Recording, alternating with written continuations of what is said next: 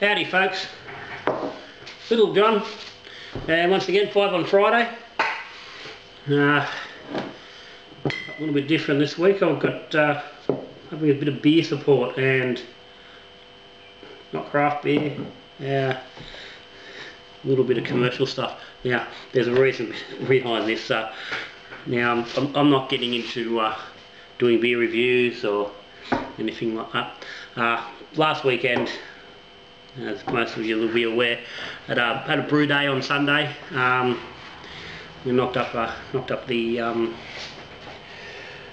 bloody bourbon barrel honey smoked porter, uh, and I had um, trying to brew day together with the uh, local brew club, and the end had one mate, uh, Jason, come over. Um, and part of the afternoon we discussed a few different beers. He, he bought me um, a couple of beers from um, a brewery called Pioneer out um, out near Orange, uh, which is almost local. Um, but in the process, he was asking me when we were discussing. He asked whether I tried the uh, this the new Hahn, yeah, uh, it's, what's called Ultra Crisp.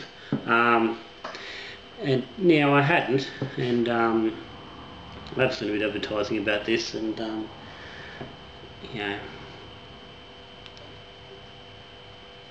I usually get around to trying these newer sort of beers but um, we don't get a lot of options in town but I'm I, I mean no generally no hurry to go out for this sort of ones this ultra crisp and super dry and all this sort of stuff. Um, just basically because you've really got generally know what you're in for something pretty fairly ordinary so. But I was down the yeah, I was down doing some shopping earlier in the week and bought stuff it. Uh, couldn't find any um, spirits that I hadn't tried um, or something was on a decent special so I thought I'll grab a bottle. So what I've done is I'll try it while I'm bloody doing a, doing a video this week. Uh, bit of Hahn Ultra Crisp. Uh, geez, it barely fizz, that's always a good sign. Yeah. Apparently they're using a revolutionary brewing process using rice instead of wheat or barley. Now, I don't know whether it's all rice or it's only partly, I would assume that it's only partly rice. Um,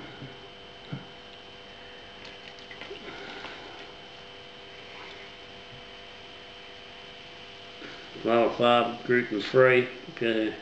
yeah and as they aren't required to actually put the ingredients on the bottle you don't really know for sure but it smells every bit as biting as a typical sort of adjunct, adjunct lager. There's not a no head to be seen.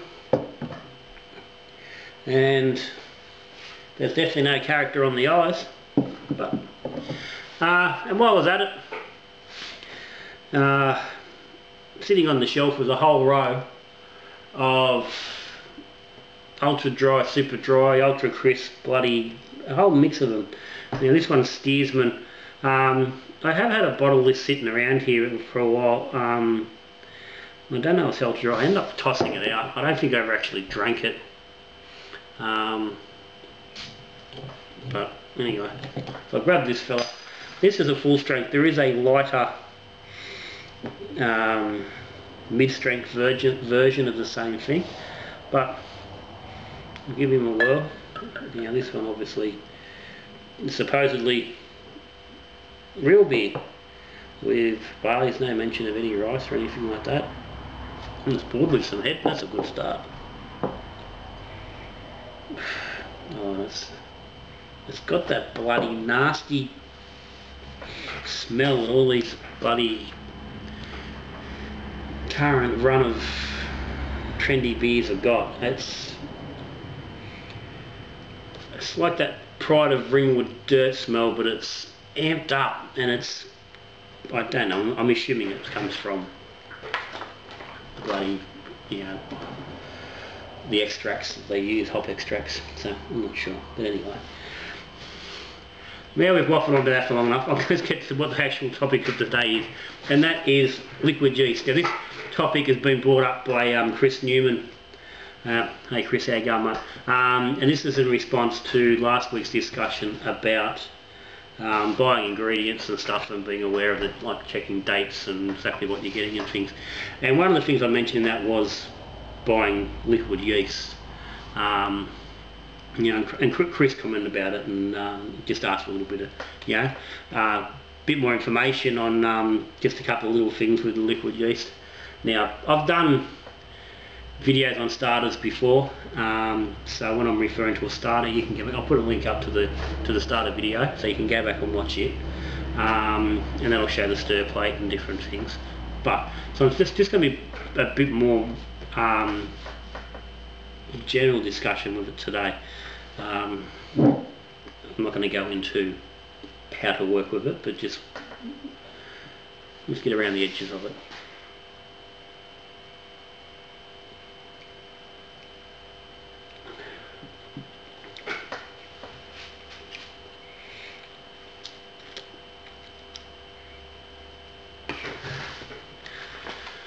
Okay. Anyway, so liquid yeast, and what I was just what I was discussing was last week was Wyeast, um, and I like to buy out of date packets because they're dirt cheap, and then build them up. Um, and in part of that conversation, I was talking about you know, being aware of your use by dates because these things don't last that long to have you know good viable numbers. Uh, so first thing you you know, so yeast is probably the most commonly, most well-known liquid yeast. Been around for quite a while. Um, I've used them plenty, and they're, they're a good they're a good product. Smack packs.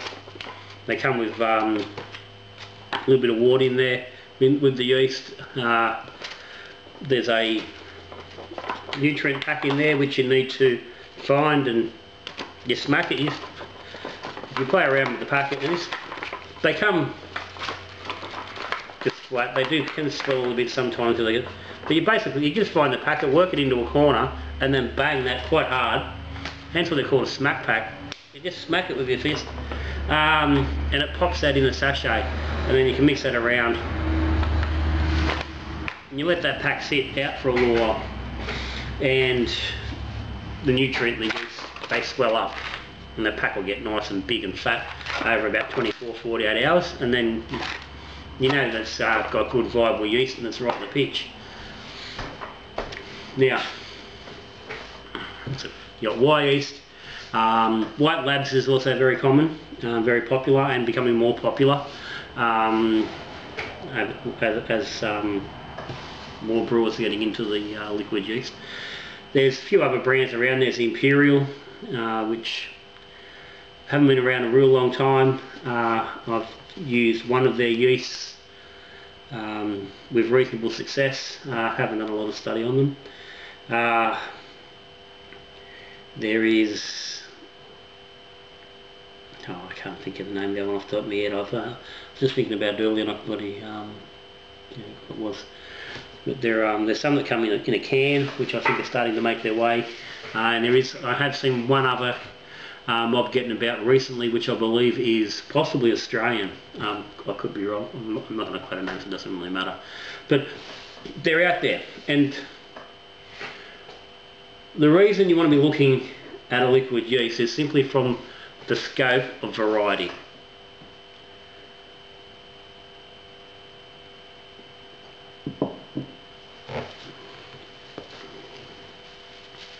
Now,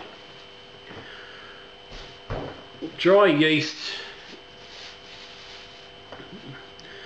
I mean a few years back you were fairly limited on what you, what options you had. You know, you had your basics, US-05 and you know, SO4, Windsor, Nottingham, you know, your, your, various couple of lagers. Um, and you didn't have a lot of option. There was a few liquid yeast getting about, and then you know, as obviously as brewing is becoming more popular, and craft brewing particularly is becoming more more popular and more common, then there's a lot more yeast strains being developed. Uh, and that's grown. That's good for, from the home brewing from the home brewer. It means that we for the home brewer, it means that we've got the option to play around with flavour profiles in our beer more more than just grain and hops. Uh, so we can get a different finish to a beer in the same beer that we always make by using the same grain and the same hops. We can get a different result by using different yeasts. Um, now that can be seen. I've done a couple of videos with uh, I've done like USA 5 compared to M44 and I've also done it compared to BRY-97 um, and I've done a lot of a lot of batches, I do a lot of split batches, and I, split, and I, and I do half with different yeast. Um, so you can, you can get back and look at some of the tasting videos, and, and you'll see where they are. Uh, so it gives us an option to try a lot of stuff. Why is the list the list of variety in the Yeast juice currently is huge, and it's getting bigger all the time. The same with um, white bugs are getting quite an extensive list as well. So it means you're able to more accurately create or recreate um, a particular style. Now, you can look into the yeast and, um, and a lot of time you can get an idea of where they've actually came from. Um, rarely do you actually get the specific brewery, but you may get information on more, more sort of specific styles. Um, like you, you, like you can get an Urquell strain, uh, obviously which comes from Urquell you can get a Budvar strain, uh, which comes from Budějovice. Um, you can get a Mexican lager strain. It's an example. Um, exactly which brewery it's from, they don't tell you. Is it from Corona? Is it from Sol? Is it from San Miguel? Who's not? No one's really sure. Uh, but it's giving you that style. And the same with the, with the pommy yeast. Like I've got, I've got a few here. Uh, that's just a basic cask ale. But on the weekend I used 1099, which is a uh, which is Whitbread. Um, now that's a specific area of, of England, and when you when you look at that, you, if you narrow it down, you can get a bit of an idea of what probably what brewery it came from. Um, same with that one, Thames, the Thames Valley Ale. Um, if you got to go back and you can locate what breweries are in that area, you're going to get an idea where they come from. 1069 West Yorkshire Ale. Um, supposedly pretty sure this is, I'm pretty sure it's the 1069, um, is the yeast off the um, the Yorkshire squares that they use at Samuel Smith's. Uh, so you, if you're asked, looking for a particular kind of beer that you want to recreate, then you can get the yeast profile. Um, and because quite often you'll get the grain and the hops and they'll be right, but you won't get the yeast profile right. And if you don't get the yeast profile right, then the final beer is not going to be right. Uh, you can get close, but it's not going to be, and sometimes that's all it comes down to, is just that yeast strain. And breweries in general are fairly uh, tight-lipped about their, particularly their yeast strains, um, because that is such a big part of the final flavour. Um, they're quite often happy to tell you the grain bill and what hops they use. They don't tell you exactly what amounts they use their hops or exactly how they run their mash schedules. But they'll give you the information of what's in there and you can work or play around with it. But the yeast they're a little bit more, oh, hold on to it a little bit, little bit more. So, you can take your brewing to, brewing to another level by getting these liquid yeast. Now, there are a few things that you need to take, and this is one thing that Chris has asked about. Um, he asked how important cold transport was on your liquid yeast. Now, dry yeast has been put into a state of suspension where it's not really doing anything. It's alive, but it's not alive.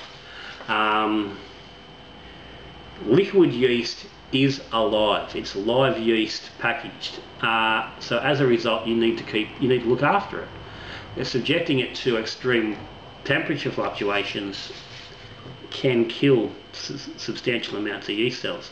Now, Wyeast, as an example, comes out, they're telling you you've got 100 billion cells in a pack. Uh, now that's on the date it was manufactured. The date it was packaged, it had 100 billion cells. Now, that will die. So when you're transporting that yeast, you want to keep it cool. Yeast stores best at fridge temperature, basically. Um, yeah, in low single figures, yeah, two, three, four degrees. It goes to sleep and doesn't really get knocked around, and it, will, it can stay in that sort of state for quite a long time. Now, while you're getting your yeast transported, because we don't all have a home brew shop just around the corner, so quite often we have to get it transported in via via post.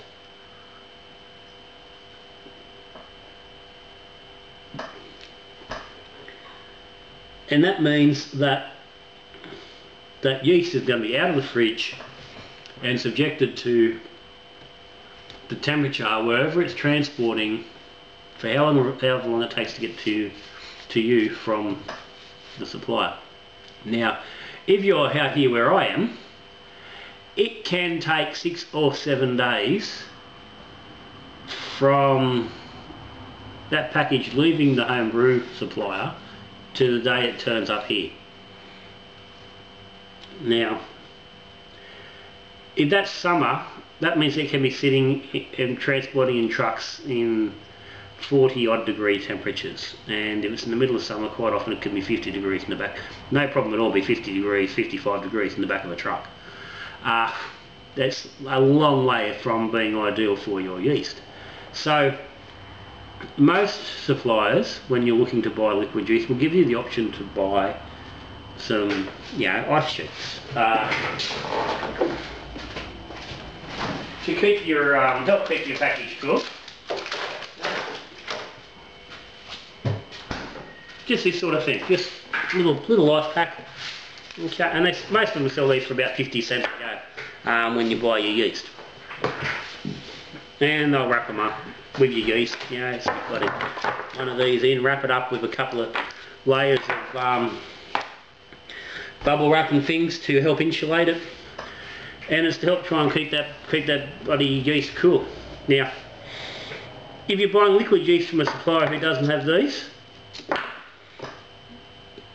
you're not buying yeast from them. It's that simple. Don't buy liquid yeast. I mean, unless it's the middle of winter and you know it's going to turn up overnight. If you're not getting an ice brick with your yeast, don't buy it. Not gonna, not it's not it's not an option. You just don't do it. Okay.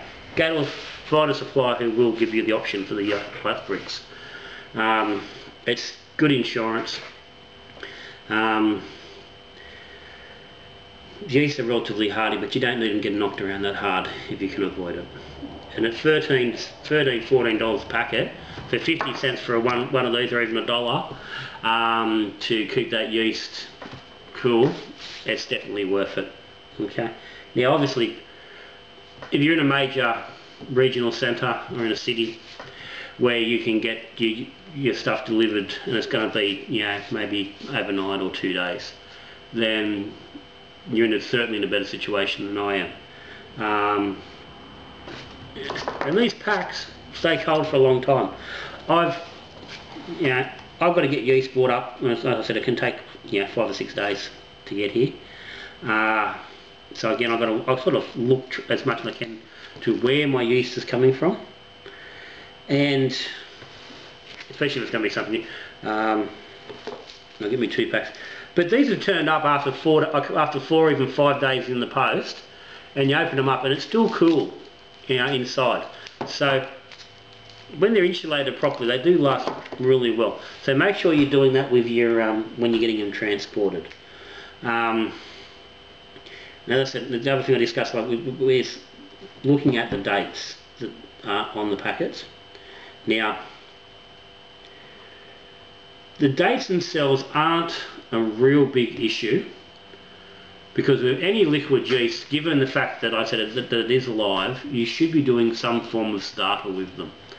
Now, the reason for that, because it says, it's and it says on here, 100 billion yeast cells inoculate up to 5 gallons. Yeah, and they quite happily say, uh, like, you know, up, up to 5 gallons of 1060 water. Okay? Now, as much as I don't agree with that being enough yeast initially to pitch in into 1060 uh, gravity wort, if even if it was, let's just say it was, you had to get that packet the day it was made to have 100 billion cells. Now, fairly well accepted that yeast will die off at the rate of about 3% of viable cells every single day. Now that's 3% of the total cells that are alive from day to day, not 3% of the original total cells. So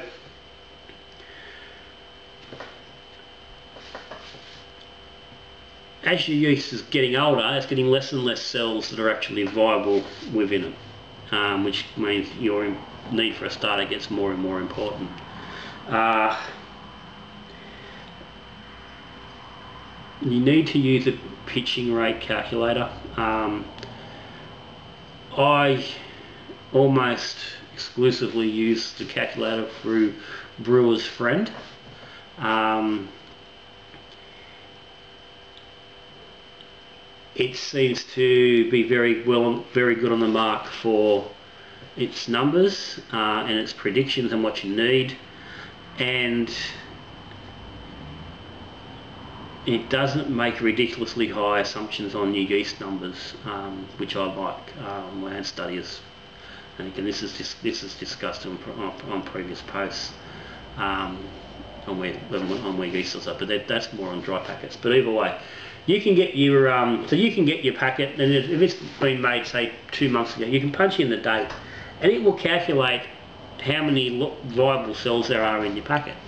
So if it's say two months down the if it's been two months since it was manufactured uh, you might have somewhere around you know 35% of cells viable. Um, now this is only I'm only pulling numbers out this isn't the actual number. I had, you'd have to run it yourself it possibly possibly more in the sort of low 40s with the 3% change. But so if you if that's the case and you've got say 40 billion cells um, and you are pitching into a even a 1050B, you're realistically wanting somewhere around 160 to 180 billion cells to get that job done effectively. So you're well and truly short of the mark. Um, so that's where you need to look at making a starter.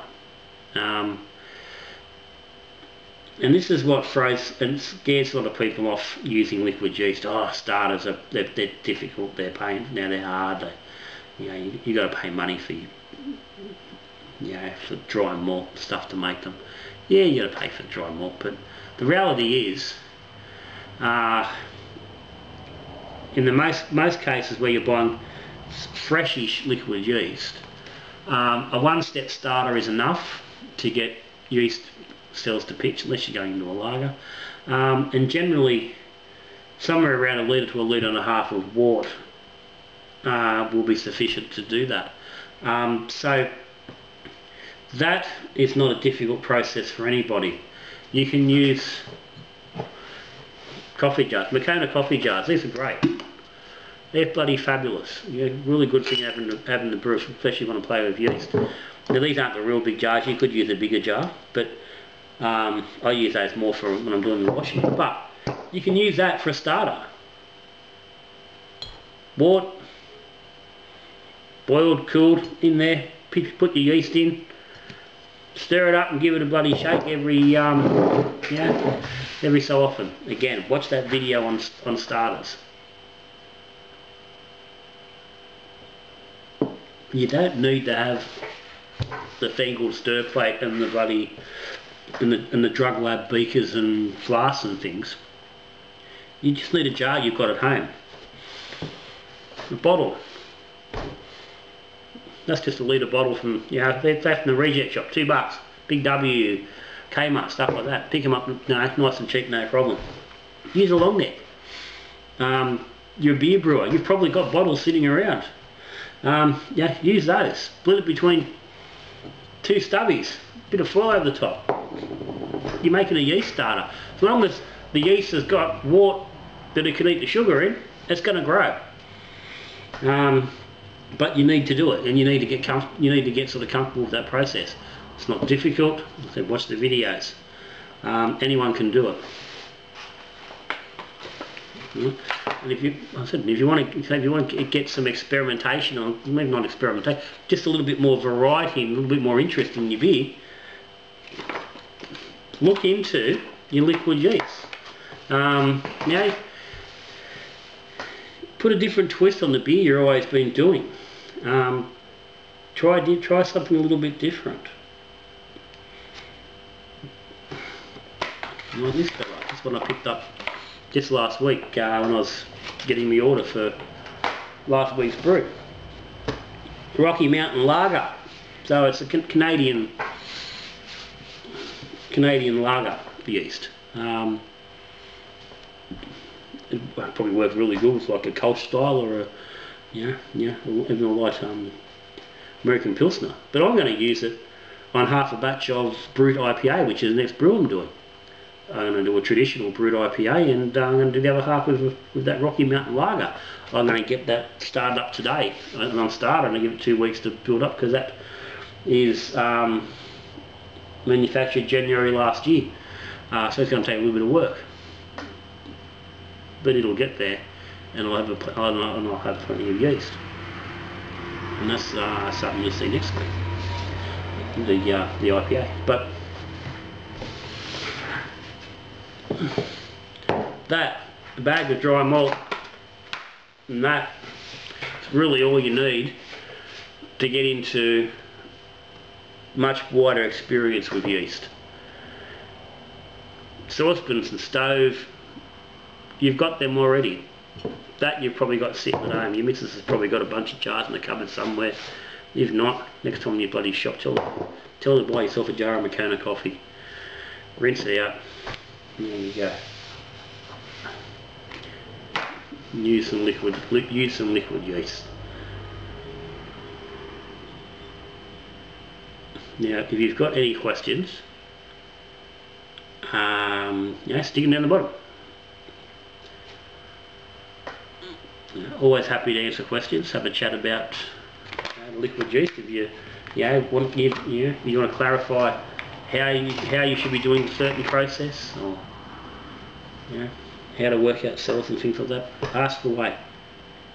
If you haven't subscribed to Little John, hit the subscribe button down there in the corner and get subscribed. Come along, learn all this exciting stuff. If you haven't tried Hahn Super Crisp, I suggest you don't bother.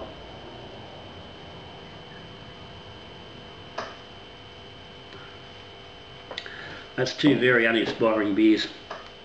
Very low in flavour, very low in character.